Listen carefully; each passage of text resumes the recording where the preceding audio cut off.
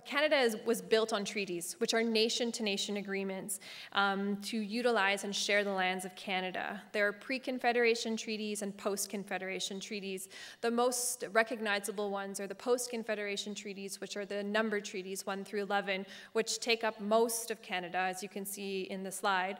Uh, the purple is the number treaties. The yellow lands um, are guided by pre-Confederation treaties, things like the Royal Proclamation of 1763 um, and the Peace and Friendship treaties.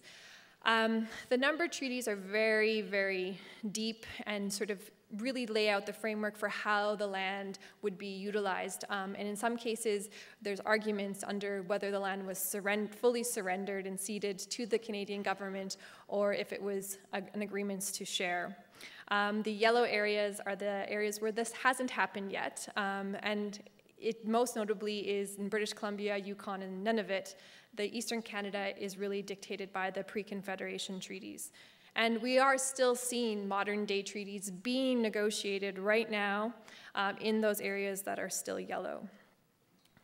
So, keep, so let's look at why the treaties were signed. The treaties were signed because the settlers of this country saw that there were staple economies to be developed in this country, largely in oil, gold, diamonds, and other minerals and resources that they needed to secure. And in order to secure access to those, they needed to make agreements. Again, you have to note that these treaties were nation-to-nation agreements, contracts uh, that were are bound by both nations, both First Nations and the settlers alike. Um, and they were to have equality. But what we saw once settlement really began in this country was that there was an imbalance of power. Most notable was the fur trade economies, where we saw First Nations really suffer.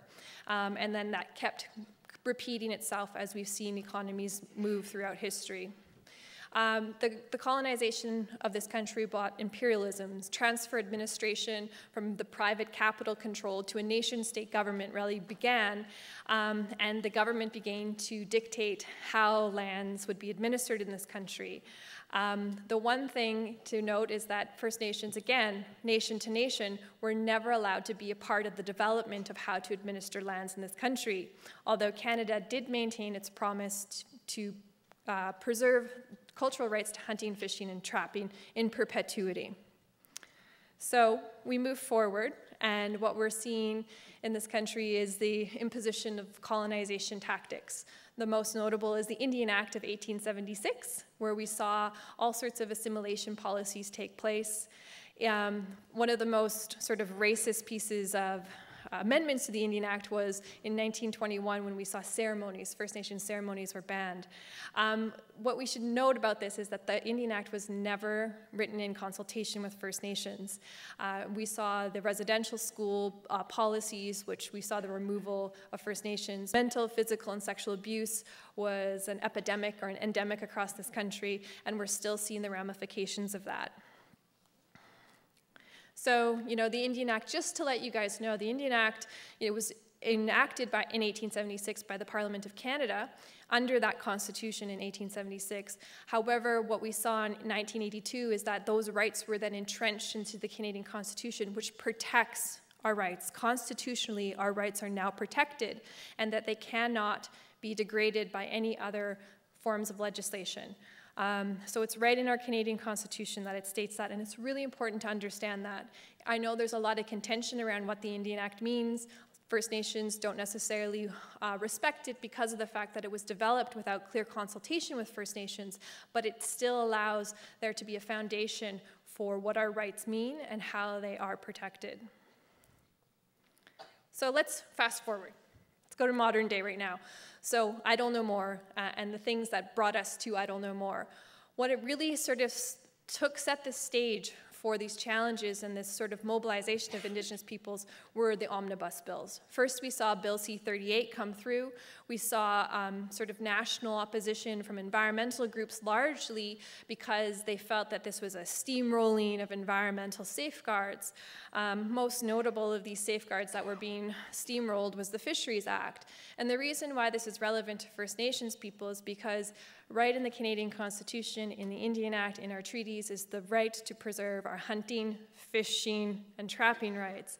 Environmental rights and the degradation of environmental laws goes hand in hand with the environmental or degradation of treaty and Aboriginal rights in this country. Next, we saw, well, what we saw with Bill C-38 is it passed. It went through, first part of the omnibus goes through, Bill C-45 comes to the table, and by this time, First Nations and people across Canada are getting more and more pissed off.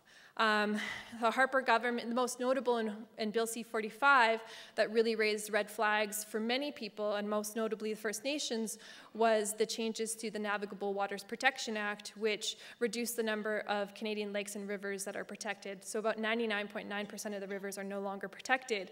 Those rivers and waterways are the lifelines to our communities, um, to our plants, our medicines, the fish, the species that we hunt and live off of um, and intrinsic to us being able to continue practicing our cultural and constitutionally protected rights. It wasn't just being noted that this omnibus bill uh, was, was hurting First Nations rights. It was being noted by a, a broad sector of the Canadian public. Uh, this is just a cartoon that was in the Globe and Mail stay sharp, the Tories may try to sneak something past us. Um, and that's, that's true. Uh, even though First Nations were the ones raising the red, the red flags and the alarms on this, we saw a broad section of, of Canadian laws and legislation being changed and degraded through omnibus bills, both omnibus bills. Um, and uh, so it sort of started to bring the sectors together a little bit. Um, this is a, a, campaign that ran by Lead Now, which says this federal budget or which would you choose, this federal budget or a Fair Canada? And one of the things to note in this Lead Now ad is that it, in the Fair Canada, it says respects First Nations rights and brings Canadians together to make wise decisions about the land, water, and air. Um, and that's because a lot of the things that we saw in the Omnibus Bill were to further uh, support Canada's opening up of the resources in this country, which were the foundation for making these treaties. So, along came the protests. Bill C 45 protect our people, our land, our rights. Uh, the First Nations communities across Canada began to call out the fact that Canada Canada Can't Hide, Genocide, Trick or Treat, Omnibus Bill C-45. Um, a lot of the Canadian First Nations saw this, these, the changes in Omnibus Bill as an attack on our First Nations and treaty rights, our constitutional rights to protect and preserve our lands, and that they saw this as another form of genocide or colonization tactics to get rid of the Indian problem, as was used, some of the language used in early colonization of this country. And a movement was born out of this dissent and dissatisfaction of Canada breaching its agreements, our collective agreements that we made with the government. Um, and it was born online. It was blogged, it was tweeted, it was posted on Facebook and every social networking sphere you can imagine. And it, the phenomenon really took off. Uh, what was really, really interesting about the Idle No More movement is it wasn't just about a, a movement that was just online. It took offline elements that we started seeing teach-ins popping up across the country, across North America, and across the globe about what treaties meant, what First Nations rights meant, where they really stemmed from, understanding what the treaties were, understanding things like the Indian Act, and understanding that we have constitutionally protected rights to protect those, our, our rights to hunting, fishing, trapping, and cultural rights, and we have a treaty right to consultation for anything that affects or infringes on those rights. Um, and that's where this big opposition really came from. One of the most notable things about the Idle No More movement was youth participation. The youth participation in Idle No More was absolutely empowering and astonishing. And I think a surprise to a lot of Canada because a lot of people say things like uh, First Nations traditional uh, lifestyles are old and outdated, and we're moving to modern lifestyles. More than 50% of Aboriginal people live in the cities, so why do we still need to protect those things? Well, what we saw was young people coming to the forefront and saying, no, we want those rights protected. Our ancestors, our grandparents, they signed these agreements to protect and give us those rights, and therefore they need to be upheld by both parties. So it was really interesting to see that sort of emerge out of this. Um, you know, again, I'm just coming back to, to resources because what we saw with Idle No More was this dissent and dissatisfaction with Canadian legislative policies and a breakdown of democracy that allowed corporations to move uh, more quickly and continue to just business as usual and even business more easily. Uh, and what we saw was a failure to meet the rights of people in this country. Um, and that has led to the cumulative removal of lands and the ability of many First Nations to continue their rights, the poisoning of species and medicines. Um, this is a, and it came right into our own backyards here in Alberta because we are home to the largest industrial uh, project on the planet, which is the Athabasca um, oil sands. However, one of the messages that has been trying to get through and sometimes suffering because of the way media frames this is this is not just an Indian thing.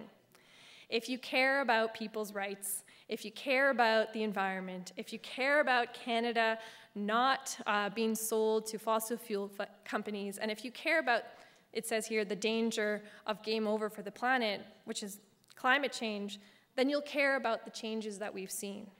Um, then you should support Idle No More. And so as, these, as the discourse around Idle No More is continuing to move forward, what we're seeing emerge is a crossover of different movements coming together.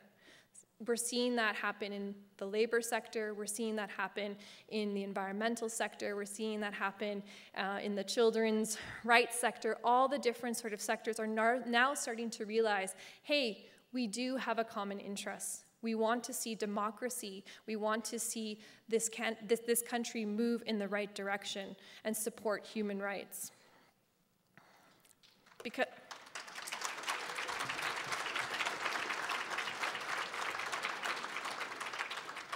um, you know, after all, we are in a bit of a crisis, particularly here in Alberta. This is a picture of development in 2001 versus 2011. We are already dealing with a pace and scale of development that is destroying the landscapes and the ancestral homelands of many First Nations, including my own. Um, we're seeing massive human rights impacts uh, with, with cancers and the degradation of, of the waterways that are vital to our communities. Um, you know, First Nations communities throughout the Athabasca watershed have reported health concerns, um, yet there's this petropolitics and the lack of concern, um, which people are terming as a slow industrial genocide in the region. The water impacts in the region are egregious. Like we're dealing with major diversions of massive amounts of fresh water for the profits of industry and um, at the cost of First Nations and, and species survival. So, um, and we're talking about massive land impacts. This is a crisis. This is why we're seeing people come into the streets. We were seeing people come to the streets in hundreds and thousands from December until recently. Um, and you know, the one thing that I, I, try to say is if we're fighting each other, we can't fight the enemy. And it's absolutely imperative that we all continue to come together now.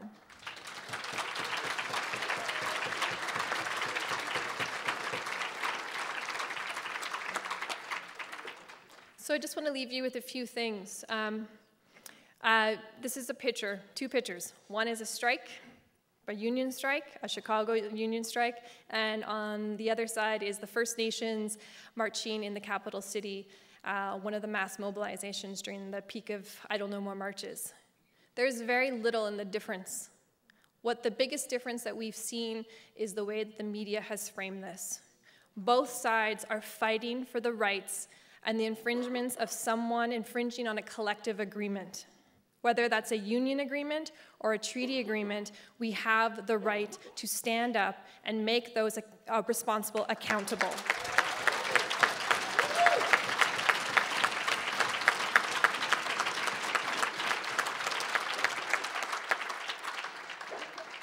So, where do we go from here?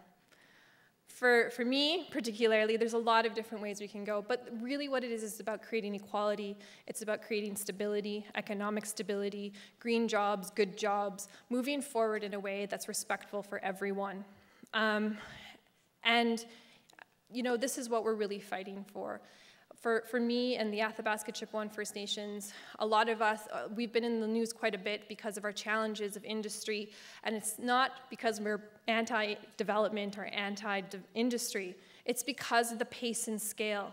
And I don't think any of you can argue that the pace and scale in the Athabasca oil sands is out of control. We cannot keep up with the industry uh, the way it is, Uh, the, the damages that's happening to the land, the socioeconomical impacts and footprint it's putting on Fort McMurray, and even in the labor industry. We have to figure out a way to address all of those things before we can move forward. And most importantly, First Nations people are a nation. And we have a nation to nation agreement, and we have the right to make Canada accountable to that agreement, and we need to be equals when it comes to creating legislation and moving forward in this country. Thank you. Masicho.